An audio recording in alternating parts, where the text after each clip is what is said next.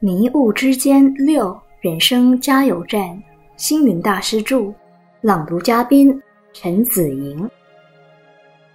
今天想要跟大家分享的标题是睡经。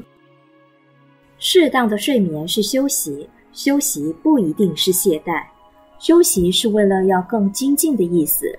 人要吃饭才有力气，身体的结构，尤其眼睛也要休息，眼睛以睡眠为食。但是不当的睡眠，睡得过多则是懒惰，是不好的习惯。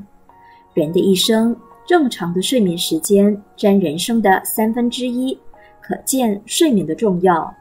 但是有的人想睡睡不着，每晚在床上辗转反侧，直到深更半夜了无睡意，第二天起床没有精神工作，可说痛苦不堪。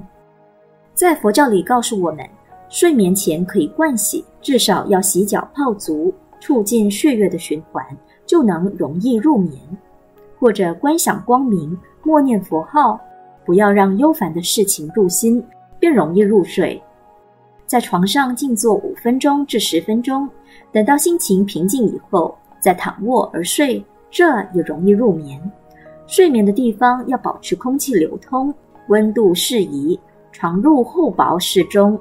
如果无法入眠时，可以轻柔细声的用七音调念佛，或者用手指轻轻的在耳边、脑额抚摸十秒至二十秒，如此也能够帮助入睡。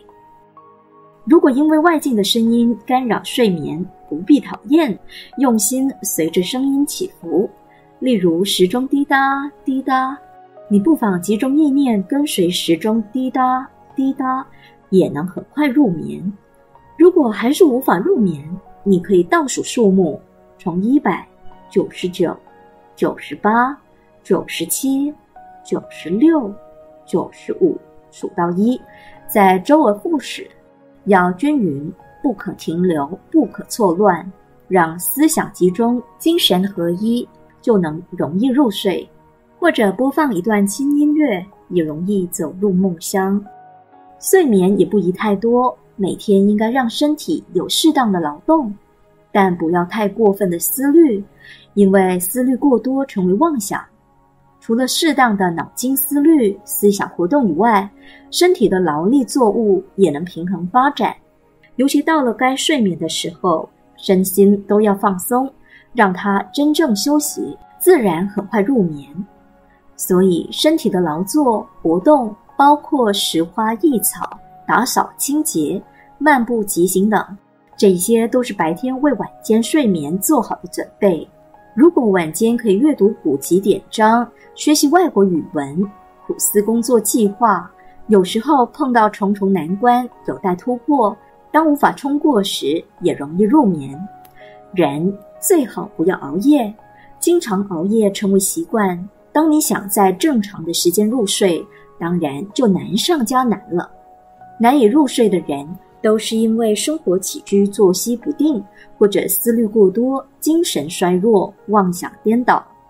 假如我们忘记境界，忘记是非人我，发心睡觉，让睡眠成为定时习惯，早睡早起，心思单纯，工作有序，那就不怕不能入眠了。